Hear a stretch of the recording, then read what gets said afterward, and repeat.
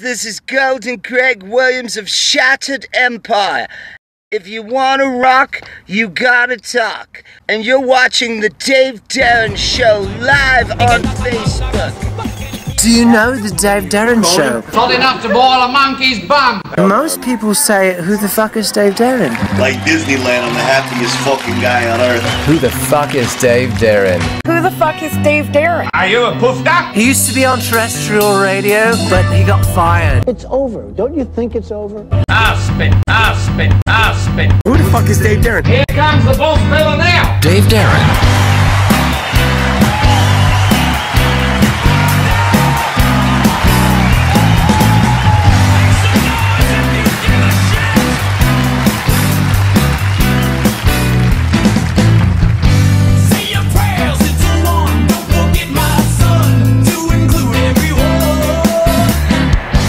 Welcome to the Dave Darin Show. I've got the very cool band. I'm going to tell you about the name of the band. I got Greg Williams here And BB Bones. and BB Bones. BB here. How'd you get the name Bones? What, how many how many women do you bone on a particular night? Yeah, I wish that's the way I got that name. uh, a long, long time ago, I used to be in a death metal band. Of course, that's where my influences come from at the beginning. And uh, his dad was always saying to me, "Oh man, that guy's like BB King, but he's BB Bones." And I was like, "All right, works for me." Stuck, stuck with It's you. stuck. Okay, very cool. So the, na- the name of the band is Shattered Empire, right?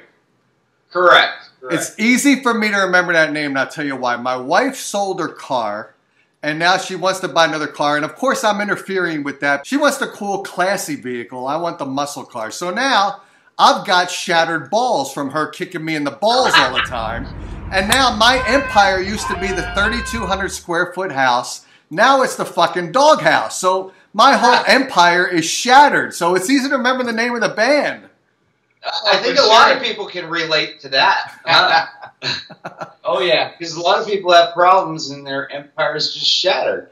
That's Well, right. hey, it, it, it's worse than muscle, the muscle car. I can tell you that much. You don't want to be driving around in a yellow Prius or some shit. Right. No, I, I can't deal with that shit. She doesn't want. Thank God she doesn't want that shit. She's at she's got some class, except for when she's giving me a lot of oral sex, and there's a lack of class there, right? But that's what we want. That's what we want. It depends. Yeah. I'm down with that kind of class. Yeah, and then we're, we haven't even gotten into the anal discussion yet, so that's where class really goes out the window. But tell me about the band, man. What's going on with the music? You got some new music coming out, right? Uh, yeah, we got we got a new album coming out here, and uh, it's released. Uh, uh, we just released it uh, Sunday, Right. Okay. August twelfth, and uh, and uh, now we're trying to promote our album before we get out on the road.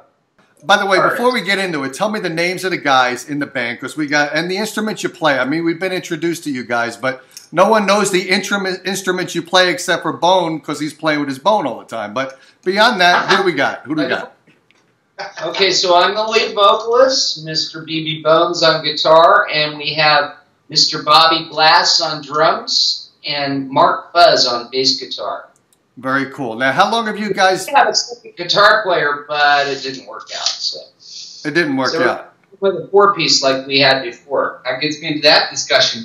These guitar players, man, they're big vaginas. That's what they are. You play one lick that's like way out of their league. They're saying, "What the hell was that? I can't hang with this guy." At least you got your words correct. You were talking about lick and their vaginas within the same sentence, so that's appropriate. I like I like the way you're going with this conversation. You hear that? You see that how they're like they're vaginas, but they're sloppy vaginas because they can't play guitar rock. They're all sloppy. So now, now, Greg, I know you've been out there. You've been you've been awarded as well. Like you're in the Rock and Roll Hall of Fame in Las Vegas. I think. Am I right about that? Correct, correct. Yeah, and and he got inducted in 2018 now, so Nice. that's pretty good. And the rest of the group. Fans in Las Vegas are they as supportive as they used to be years ago? Because I used to play in the '70s and the '80s, and I've noticed a little bit of a lack of appreciation from the fans, and we got to bring that back. I don't want to make this show about a negative situation, but we got to bring the fans back to the music because they're too they're too busy watching uh, Netflix. They're busy watching all kinds of other shit, and they're not really involved in the music. We got to draw them out. How do we do that? Yeah. How do we do that? Yeah, you're absolutely correct there. Okay. I mean, Don't you're, Uh, you're not going to answer me yet? Let's play a piece of music, then answer me. I'm going to let you think about it during the during the music. almost want. We, we have, Well, there's there's- a lot more for to that question. So That's right. That's right. And we're going to get back to it after this commercial break, which is going to be your music because we want to make it commercially available. So what are we going to what are we going to Oh, what are we going to start off with? What should we start off with, guys? Uh, uh, we'd like you to play uh, one of our new tunes. It's uh, one of our new, latest songs. It's called "Streets of Hollywood," Okay. and Okay. it's all the Hollywood scene. There's a whole story behind it. Cool. Keep that story in mind and we're going to come back in a second. Here we go, guys.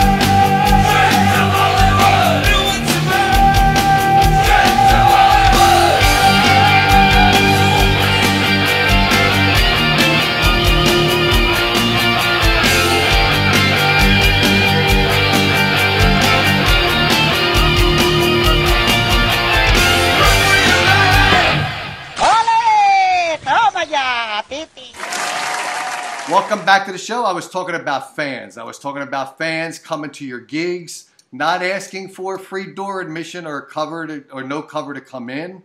I want them to buy merchandise. I want them to go to your if you're selling your music on iTunes or it's available, it's your gigs. I want them to buy that. How do we motivate today's fans to really think about what there's what what they need to do to support the great music that's out there? You guys got great music. I want them to support you. What can we do to try to help that out a little bit? Well, go ahead. I, I want to give my, my two cents on this. We get rid of all the media. we get rid of it. And then they have to go to the shows to see the band. We have to get out there like us. I mean, bands, we said we could sit right here, write songs all day long, put it on the internet, put it on YouTube, tell everybody to do something and just Facebook it out. But nobody goes to the shows anymore. You aren't going to see a flyer on a car. You just you're going to go somewhere you won't see one. But before you had to do it, it was a hustle. You had to get out there. You had to go flyer all the bars, all the scenes. Hey, guess what? Boothright's playing tonight. Okay, let's let's do it. Rockstar, the movie Rockstar. There you go. That's what it should be like now. Yep. But it is no longer that way. Greg, what do you And- think? What do you think? You know why these fans aren't motivated to buy uh, music that they like? I mean, if if I if I hear a band and I like them, of course I'm going to go out and buy the album. I want it. You know, I want that artwork. I want everything. I mean, it makes sense. I don't understand why people don't want to support support the artist. I, I believe that we don't think about that. What we think about is I've done it myself. I'm guilty of it. I heard uh, bits and pieces of a song. I'm like, well, let me go to YouTube and see if it's on there. And there it is, the whole album. So Mm. there it is on iTunes. Why the heck am I going to go and pay the money to get this thing? But there's very few people that say, I want the CD, I want this, the artwork, I want on and on and on. It's right there in their face, you know. The technology's right there in your face. Now, playing your music, how many vaginas do you guys get into your face? Greg, we'll start with you first. Oh, me? Not, not much. Shit. I tell you that much. Come on, man. Um, I, I, I can see. I Probably can. the whole front row and the rest of the building. I'll take the second row. It, it, would you say your music's very sexual? Do you connect to your audience in a sexual way? Uh, I wouldn't say that about every song, but some of them. Okay. There's a song you don't have there called "Town to Town." It's For sure. It's about that. And and Funny, can that we, up. can we get that one for the show at some point? Where are we going to be able to air that? I don't have it. I- okay. Sure, we can get that. Okay, I'm going to play that, and, and by the way, I'm going to take that track and I'm going to slip it into the bedroom in hopes that who- my wife just had her birthday yesterday, so I'm due to get sex for from her because what when it's her birthday, we promise each other three weeks worth of sex every single night. So what I'm going to do is I'm going to slip that CD in while I'm slipping my penis into my wife. Okay, so there you go. Sounds great. Sounds. I'll put a little bit of that footage, that video footage, on this interview. Okay. okay. So in the meantime, what can we play by you guys? We're going to play a second piece of music from you guys. Tell us about it and tell us what we're going to play. This next one is uh, the title track of our album. It's called Rise of the Empire. Now, Rise of the Empire, uh, this song is more about, I'd say, more about politicians and what's going on in the world today. Actually, was more about what was going on before Trump came in office, but it pretty much like sets in what's going on with politicians and corruption.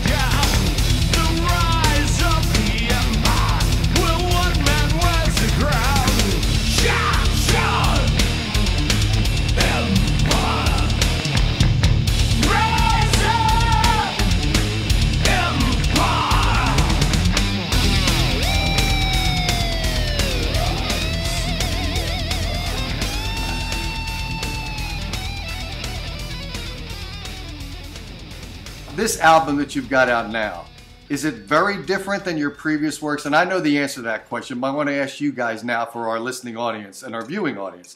Is your Yeah. music, are, are you intentionally making your music different from CD to CD, or, or are you trying to be consistent with what you think is, is working, or are you very experimental? Uh, we're the type of guys we really don't follow trends. We really don't care what what's popular, what people are doing today. We just do what we feel and in our heart and soul what makes us happy and and we hope that it makes our fans happy. Of course you want to keep your fans happy all the time. But we try to give a variety of uh, heavy metal and rock type music so that so that we can keep the people interested. And uh, you know, a lot of people from the '80s they want to hear a certain type of music, so we try to mix in a variety of different types of stuff. So it's almost like you're listening to Van Halen, Judas Priest, and you know, and mix it up a little bit. But really, we're writing from our heart, and and we're doing what we really what we're feeling. We're not really following any type of trend, and uh, you know, like what everybody else is doing today. Uh, we're not that type of band. We don't do that. If you had to pick, both of you guys, if you had to pick a favorite song from your most recent release, do you guys pick the same song? And, and if you don't, what's the differences and why? So, Greg, what's your favorite piece of music off your current release? Off of this new release, Yeah, what's your favorite? I'm curious. Uh, my favorites. Well, there's a lot of good ones. Um, but but one of my favorites, only because of the because I relate to it a lot, is Streets of Hollywood. Because growing up in California and seeing everything around me, I, it, the lyrics and everything, I, I I relate to it like like it's part of my life. Like basically, that's how it was written. That's how a lot of songs are written. Um, I write about what I feel or what I see or what I uh, what kind of uh, experience I have in life. I gotta agree with him. That Street to Hollywood, it's like the, it's the baby of the band. That that, right there was one of the, the newest song that we've we've ever written. The newest one. What are you going to do now? St- Streets of Hollywood becomes one of your fan favorites, and Well, and you've that's got and, and, and you've got to play that consistently every single show. Your fans are going to desire that to be played. It's it's your anthem. How are you going to keep that fresh? Are you going to keep it as authentic it is uh, off of the music that you recorded, or to keep it fresh for you? Are you going to vary it and experiment? What are you going to do with that number one hit from your band? I'm gonna play the hell out of it, and when those people are there feeding that energy back to me, I'm gonna feed it right back to them. In And the ori- in the original format of the original sound, or are you going to vary it a bit? Or are you going Oh. to try to keep it uh, authentic? I I think I think I'm we're going going to try to keep it authentic, but Yeah, but exactly. and, and we try to keep everything authentic when we play live. Mm-hmm. You know, like you'll hear the CD. A lot of bands will go off drifting. No. We try to stay with that uh, format and and stay with that, but you might hear a little bit of different sounds here and there, but it, but it's pretty close to what Yeah. you're listening to on the CD. Right. I like to stay stay consistent with that, but uh, yeah, like he was saying about the energy. When if you're playing the same song you've been playing for 30 years, and that energy is there, just like Kiss when they're doing rock and roll all night, you got that energy. It builds the energy inside you. So that song isn't still. It, it it stays alive and it stays with you for when you write a song. It stays with you for the rest of your life. You know that you're a musician as well. So Mhm. that's that's the way I feel about music. I, I don't know. I guess I'm pretty deep into it as far as that goes. Sure. Well, add on to that is that uh, I love the solo, The Streets of Hollywood. I mean, I love enjoy playing it. I think it's amazing. It's super fun to me. I think it's great. And we love you. The, the verse, the, the verse riff to Rise of the Empire is an amazing riff. When I first wrote that, I felt every time I could listen to it to this day, I turned on the radio and I jam out to it. I drive through my car and just hearing that. What should we play next? Another piece of music. This is the third piece we're going to play here. What should it be? I guess go ahead and play uh, Angels. Okay. The Angels- song's called Angels, I don't know if, if you actually got to review it very good, but uh, uh, there's a, there's a story about that song. I mean, a lot of people uh, they they hear the music and they say, "Oh, that's heavy. I like it." They're not quite getting the message what I'm sending out, and and it's a whole different thing. What I'm doing is I'm turning around and I'm sending the complete opposites opposite message than what other bands are doing. I'll turn around and write about how to do the right thing and write about God. They're writing about Satan. I'm writing about that. I don't quite say anything about that, but it turns out that that's what I'm doing. And then the people turn around and go, "Oh, that's awesome! That kicks ass! That's metal." Well, you're not quite hearing the message. I mean, we're not like Stryper, where you totally hear the message. That's that's I kind of twisted on the fans, and they don't even some of them don't even get it. I think it's an amazing song. I'm I'm super happy with the solo, with the riffs. With the, We're going to play Angel right now. And you guys have mentioned solo quite a bit. So I imagine instead of getting a drink, you're going to go over to your computer, pop up some porn, do some solo work in front of the computer, and then you'll come back and we'll finish up the interview, right? They call me VP Boner. I mean bonus, bonus. And I don't want to be around if it's if it's being him. I mean, we're the girls, man. That's Yeah. right. you gotta send them our way, Dave. I'll do that. I'll, I'll give you the Dave Darin credit card, all right? He's asking about how many girls in the pre- at the at the show. Who who gets the most girls, or what's going on? Why are you asking that type of question? hey, we're interviewing you now. What's going in Mr. your Darin. mind there, buddy? Oh, I don't, I don't know. I have no idea. Let's play the music. You guys take a little break. I'm going to play the music. Here we go.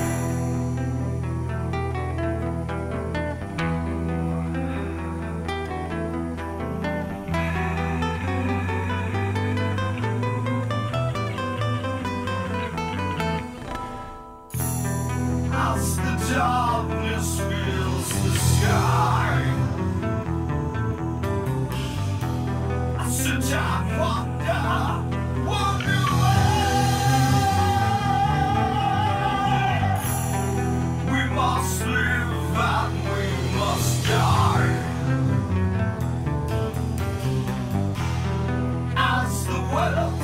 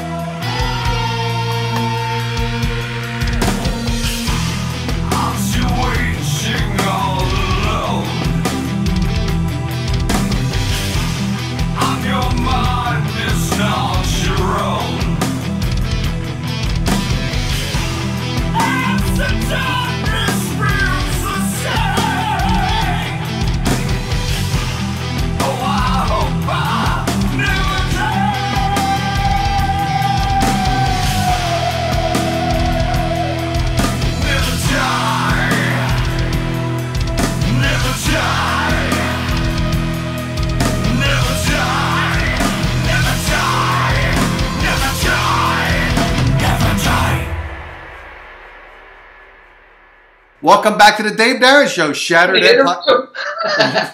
Shattered Empires with with us here right now. By the way, I'm curious about this.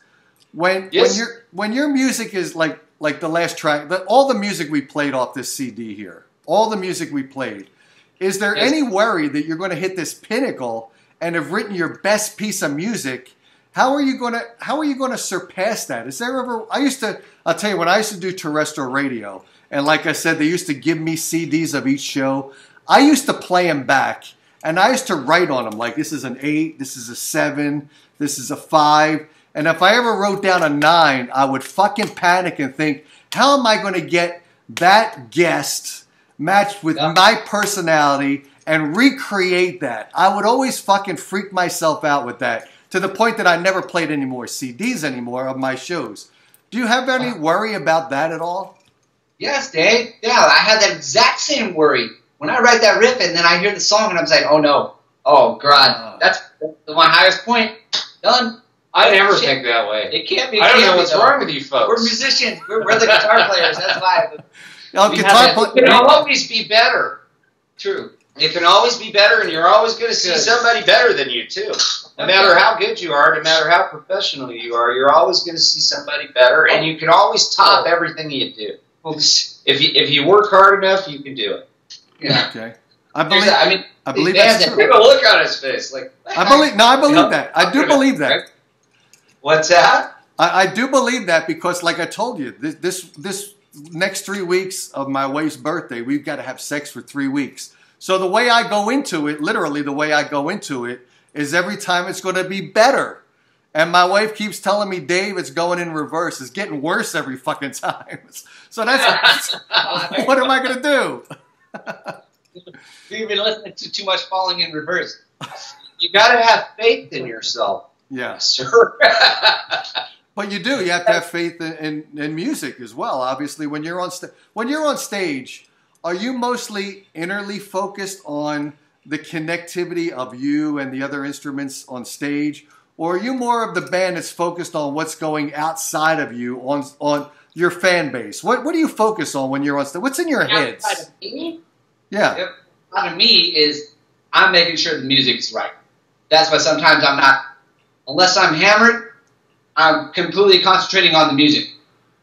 But once I get, when I get some shots and some beers in me, then I'm concentrating on, yeah, oh man, I'm so, I'm right there with the audience. I- eye to eye. I focus on the music and, and, and I try to feel it on stage, but he- like he said, I like to try to connect with the audience as well. Sometimes you might catch me uh, in a couple songs where I'm in my own world and I'm kind of like, I don't know, it's almost like I'm in a dream. Sure. And, Yeah. and, I, and I'm just feeling that song at the moment, and that's all I'm feeling. And, I- and I got lights hitting me, and there's people all over, but I, I don't even notice that. They're like little ants. I'm sorry. Yeah. That's not a good thing to say about your fans, but yeah, if it's a big show, they're like, they're, it's, you know, the more people there are, you can only see so far, and then that's it. It's an amazing feeling. those lights in your face. But yeah, it feels great. Oh yeah, that's the best high in the world. But then you forget because you got to your other, say you got your drummer and your bass player over here, and you two, like me and Greg, you know, sometimes we're here and freaking, we're in our own world, we're just rocking the freak out, it's amazing, super cool, everybody's into it, and the drummer and bass player are looking at us like, what the hell are they doing?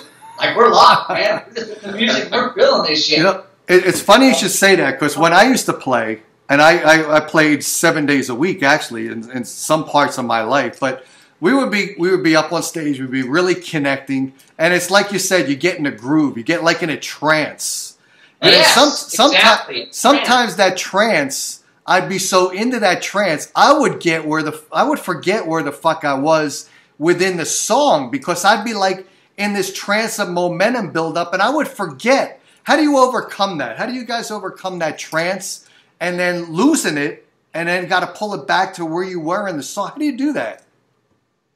Oh, I I've never quite really had that type of problem. I, I- no, I I'm really- serious. I really- It's the I- drugs from the 70s, the drugs from the 70s. I'm usually focused on the song. I'd have to be completely wasted to lose my spot there. But, Hmm. but no, no, it has happened at rehearsal a couple times, and and and you're like, oh wow, I got to catch myself here, and I don't I don't know how I do it. I just I mean there could be a mistake and I just pull it like uh, nobody would know there was a mistake. Not even the band. Like like they're the ones making the mistake and I just pull it together somehow. I don't know how I do it. Don't I do that? You absolutely he do. does that too as But well. yeah, my, my thing is that sometimes when you're you're talking about it, you're in that groove, you're in that mode, you're just jamming, just feeling it all all of a sudden. But for me, it feels like everything's going great, but then reality hits, and it's like, wait a second, oh, okay, and then you get all stone faced again, and you're you're trying to catch up where everybody else was. Yeah. But that's why you got to have a great rhythm section, and you got to have them. You're behind him is like, hey man, he's in his own world, and the people are loving it. Let's just keep on going. It's almost like you're hypnotized. Yes. Exactly. Exactly Yeah. right. It is exactly like that. Do you think that it's important for a band to do a state to state across the country tour? Is that something that's important? Is that something you guys want to do? Is just traveling to a lot of states across the entire country? Do you want to do it? Is it feasible to do it?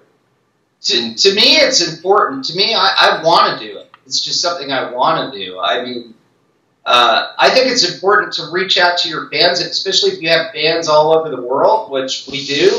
I think that you need, you know, a lot of these people are waiting. They want to see you in person, and they want to see that live performance. So, so yeah, I, I kind of think that that's important to to get to the other states and yeah, of course, there's other countries, but sometimes it's hard to get to all these places. Let's uh, play another piece of music. Then we're going to come back and we're just going to close the show out with you tremendous musicians and guys in the band here. But let's play a, a, a this is our fourth song. We're playing a lot today. Fourth song. Yeah. What, what can we do? Yeah. How many do you want to play? Twenty? No, yeah, well, yeah, yeah. Well, well, let- let's do a fourth, and then we'll think about the fifth to the twentieth eventually. But what should we do fourth? Uh, this next song is called "The Helm." So, um, would you like to explain the helm? It's No. kind of a heavy song, like priest. It's kind of like a priest type song. Okay. It's called, it's called the helm, like the captain of a ship, and it's kind of a fantasy type, kind of like a movie type song. Um, but uh, It definitely rocks, and it will fucking it kick your ass. definitely rocks. So it, it's it's kind of a fantasy. What's your fantasy? Mine is to be with a midget. I, I've Well, never been with a midget. I, I'd like to try that. Fantasies, all right? Come on, Dave. Okay, wait, You uh, what are you saying, Dave? I, I said, I- "What's your fantasy?" My fantasy is, and I've never had it. I've had short girls, but I've never had a midget. And the reason I say that is because I, I like, Right. You know, when you think about a midget, what you've got going on there is someone that should be full size and they're compressed. So when they're compressed, the booty sticks out. Like, like remember that that little doll you used to press? I forget what it was. You press the head and the bottom of it flares out. It's like that. So I'm very interested in being with a midget. What do you guys? What's your fantasies? Please, you don't want to hear my. You don't want to hear my um. Okay, because okay, me and my my cousins, we've talked about it. All right, we've talked about this mis- midget sex thing, Look at this. and you really, if I explain this to you, you're gonna be like, I never want to see another midget in my life. Ah, so do you want to hear this or not? I'm going to hear it after we play the music. All right, let's play the piece of music. I used to have a girlfriend that was like five Hit foot tall. She was really hot, though. Oh, but five foot's not a midget. That's that's like a full size midget, which isn't a midget. Okay, let's play the music and we're going to come back. Here we go. This, this is bad, Dave.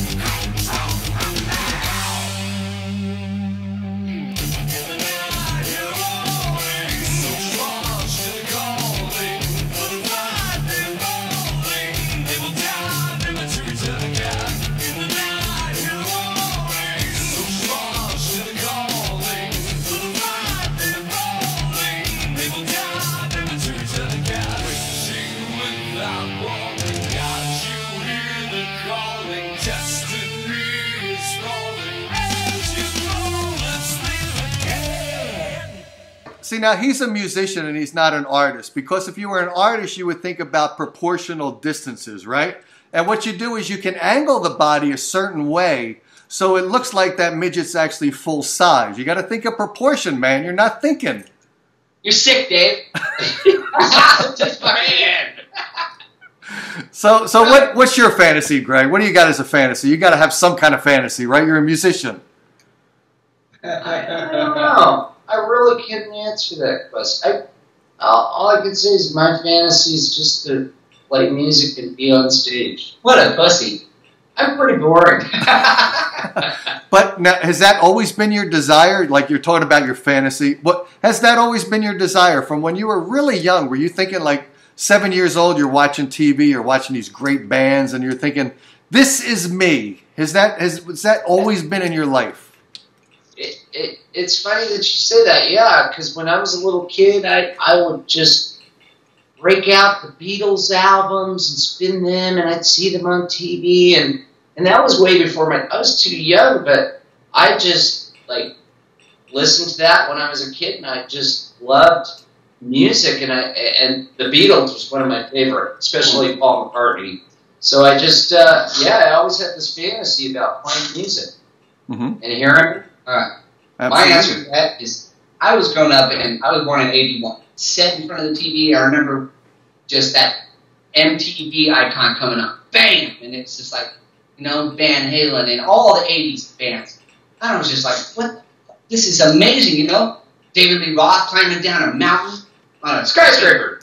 Yeah. Yeah, yeah, yeah. And I, I just like, it, it hot for teacher, all that kind of stuff. I stuff. want my And definitely MTV. Van Halen was the one. Yeah. All those amazing things. What I happens to them? It's not. It's See? supposed to stand for music television, right? And I I, I love it. I love music TV. I loved MTV. I really did love my MTV. I really did. Yeah, So did so I. did I. Me too. I, what happened? It- because that's where I was grown. I was grown up, and and I just look what it makes you. I mean, me and my cousins had a um, what are those like smaller records, the the smaller ones, not oh, the 45, 45s. Yes, Yeah. and my grandparents had it, and I would. He, she said every time we come home, well, we'd wake up in the morning to go to school. We'd play Billy Idol, White Wedding, all day. Did you actually have time between playing the Billy Idol in the middle to pull up a National Geographic magazine and masturbate before the next? Did you do that? Did you masturbate to National Geographic? Yeah, Hustler and Playboy. So No, I did it to National God. Geographic I've because told you, that's what because I you did. could you could declare innocence because you got the parents. You're a young kid. You got the parents in the house, and you Yeah. can't have Playboy or Penthouse because you can't. So you pull up the National Geographic magazine with the breast in there because everyone's in Africa with big breasts and they're hanging out. And then you can then you your parents come in. You can you can look like you're being educated by reading National Geographic, right? It, it, it was a prop. Is that a National Geographic? Is that oh no, I've been there. Yeah, oh, yeah. yeah, but but Turn what, that fan on and go crazy. but you used to have like those those those uh what are they called? Like fashion magazine. Yeah. Oh, the- yeah, man. girls in there. The National Geographic. You get to see No. that the Sears and Roebuck catalog. it was amazing. My parents thought here's a here's a guy who wants to learn about mechanics because you got the Sears catalog with the uh, the tools in there. I forget the names of the tools. What what kind of tools do they sell in Sears? What was it called? I forget the name of the tools. But they thought Dave's going to grow up into being a mechanic or he's going to be into geography or history because he's got the National Geographic and the Sears. They had no idea that I was checking out the, the breast in both the cat in both the magazines. The breastises? Yes, yes. Yeah. I got lucky. My mom used to get the Victoria's Secret magazine. So There you go. I- That's the one I was looking for. Yeah. Victoria's Secret. She Wow. wouldn't let me. Okay, she wouldn't let me look at it. She's like, "Hey, what are you doing with that Victoria's Secret?" I'm looking at bras, mom. Oh, Wow. yeah, right. So here's a guy right here who not only has a fantasy about midgets, but he also fantasizes about his mom. Excellent. Yeah, exactly. Thanks, Dave. Finally, somebody said it. Hey, There my we mom go. was hot. What can I say? Oh, They it a nationwide coverage right here on the Dave Darin Show. absolutely. We pulled, My mom was we super pulled hot. his secret out. We'll send this. By the way, we'll I'll send I'll send a special version of this to your mom. Okay, we'll do that. We'll do that. Okay. I'll tell you what, let's make sure that we uh, announce how to get your music. How do they do it? Do they go to iTunes? They hook up with you guys for autographed copies of your music? How do they do that? Okay, if you want a physical copy, Yeah. uh, actual CD with the artwork and stuff, go to Amazon.com and or uh, actual, like a lot of people like downloads today. So whatever your preference is, if if you're just going for downloads, I would go to iTunes. Or the those are the two main ones for uh, for buying the actual CD. Okay. How about merchandise? You guys have like T-shirts with your band name on them. You have all that stuff. So when you start playing out there, when you're starting to do this stuff in LA and all that stuff, do you have merch at your merch booth? I'm sure you do, right? Yeah, we have T-shirts, Shattered Empire shirts with the with the album cover. We haven't we haven't uh, put any of our merch out there yet because we're trying to push the album. But we'll be we'll be putting some merch on the Shattered Empire site on our uh, Facebook site.